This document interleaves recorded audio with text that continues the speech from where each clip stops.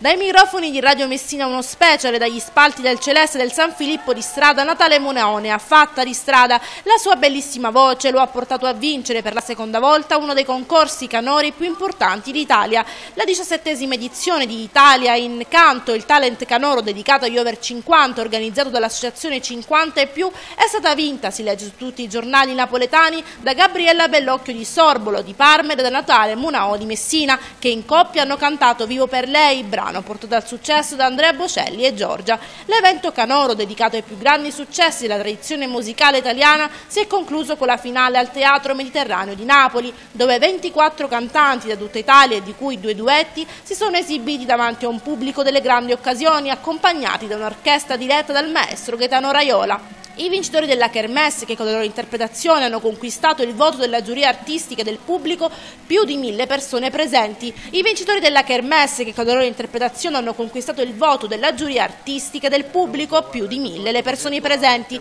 Vincitrice del premio della critica nella precedente edizione, Gabriella Bellocchio della Vita è assistente familiare e canta in un coro lirico da tre anni. Natale Muna Oggia, disco d'oro nella sedicesima edizione, lavora in una casa di riposo con le Reale, allietando come animatore gli ospiti Conti con la sua voce a decretare i vincitori insieme al giudizio del pubblico una giuria d'eccezione composta da Peppino Di Capri, Silvia Mezzanotte, Enrica Bonaccorti, Michelangelo Ios e Renato Borghi, presidente nazionale 50 e più e poi i voti del pubblico.